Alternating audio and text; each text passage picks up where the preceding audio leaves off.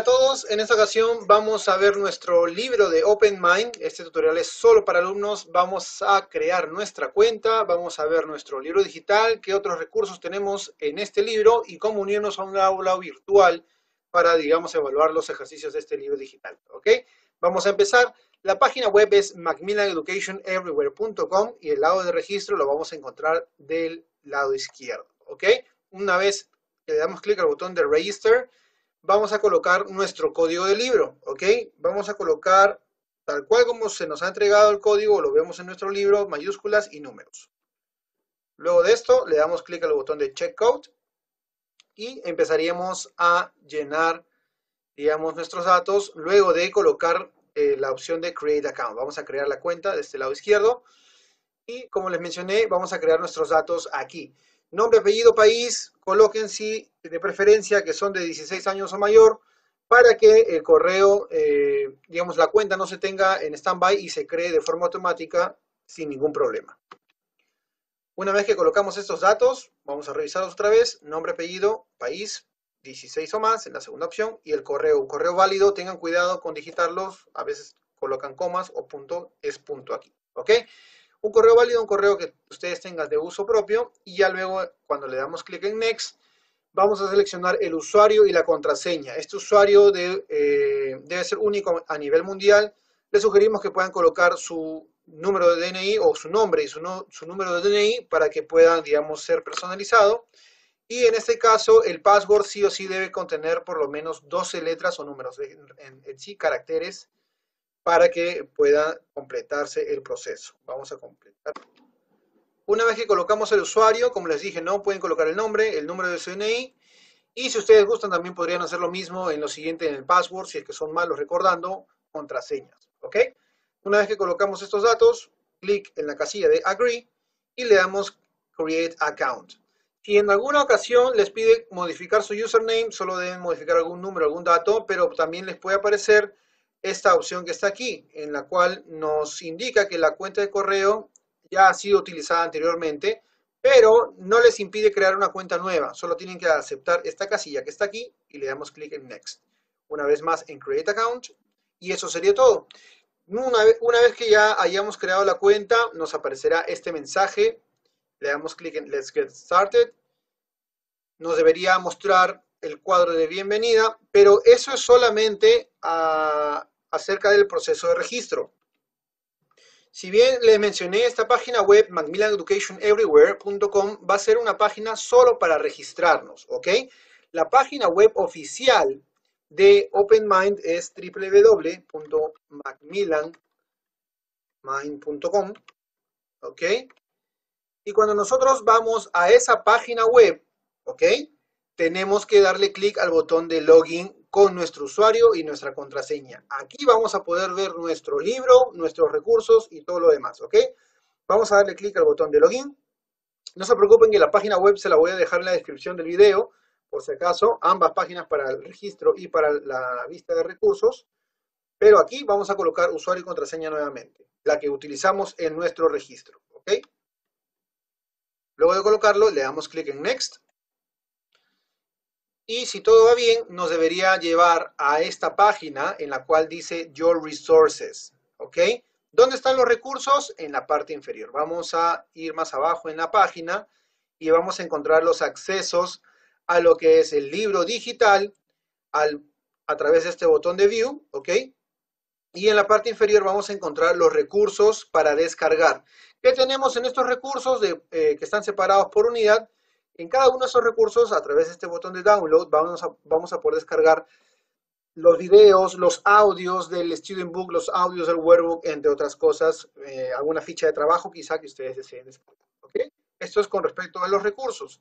¿Qué accesos tenemos aquí? Tenemos acceso al Workbook eh, online, en el cual si ustedes quieren realizar algún ejercicio lo pueden hacer. Pero básicamente vamos a enfocarnos en el Digital Student Book, ¿ok? Cuando veamos esta opción de Digital Student Book, vamos a darle clic a la opción de View. Una vez que le damos clic en la opción de View, nos va a llevar a una plataforma nueva.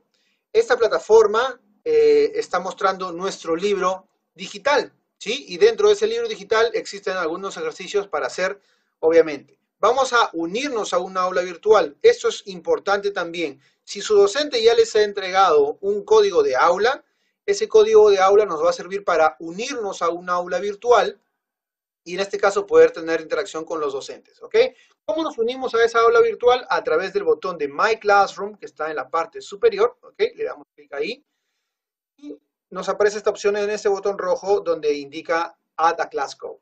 ¿Qué código vamos a agregar aquí? Vamos a agregar el código que nos ha dado el docente, ¿sí? Nuestro código de aula para unirnos eh, y poder, en este caso, comunicarnos con él. Eh, este por lo general empiezan con las letras CL en mayúsculas y seguida por números. Luego de colocarlo, simplemente le damos clic al botón de Accept y si todo está correcto nos debería aparecer este mensaje en verde, ¿sí? Donde nos indica que ya estamos dentro del aula virtual. ¿sí? Eso lo, lo deben coordinar con su profesor y eso sería todo en cuanto a unirse a un aula. Ahora, ¿cómo vemos nuestro libro digital? ¿Cómo podemos verlo? A través de este botón de Content, ¿sí? En la primera opción, y le tenemos que dar un solo clic a la imagen del libro, ¿ok? Vamos a escoger cualquiera de las unidades que ustedes deseen, la unidad 1, por ejemplo, y para ingresar a las páginas tenemos que darle clic a esta palabra Pages y el número que aparece a continuación. Un solo clic y nos lleva a la página de nuestro libro digitalizado. Vamos a poder visualizarlo siempre de esta forma al comienzo o si vamos hacia las páginas siguientes con esta flecha del lado derecho, vamos a verlo de esta manera, ¿sí? Para poder visualizarlo a una mejor resolución, existen las herramientas en la parte superior. Vamos a poder darle clic a este botón de Continuous Mode o modo de vista continua para poder visualizar la pantalla o la página del libro a una mejor resolución, ¿sí? Vamos a tener otro tipo de herramientas como las de que son las de trazo, tenemos la herramienta de resaltador si queremos resaltar algo o escribir algo sobre el libro, podríamos utilizar la tercera que es la herramienta de texto, ¿ok? Podríamos utilizarlo para completar algún ejercicio sobre la hoja si quisiéramos y apagar estas herramientas para poder modificarlo si queremos de alguna manera o simplemente borrarlo a través del botón de delete, ¿ok? Recuerden que para modificar lo que hayan escrito, tienen que apagar estas herramientas y darle clic al botón de delete. ¿Ok? Pero tenemos otros iconos que están eh, sobre las páginas, ¿sí? Este icono de, de, un bloque de notas con un lápiz al costado. Y vamos a encontrar otros más, como por ejemplo estos iconos de audio. Estos audios son los mismos audios del libro, de la clase. Es decir, si nosotros le damos clic aquí. Unit 1, uh -huh. Section 3.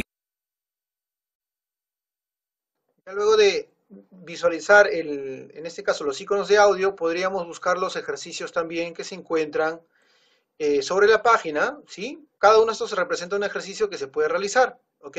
Si no saben dónde acceder, pueden utilizar la opción de Resources en la parte superior y basta con solo darle un clic y podremos visualizar el video y el listado de ejercicios que tenemos en esta unidad, ¿lo ven?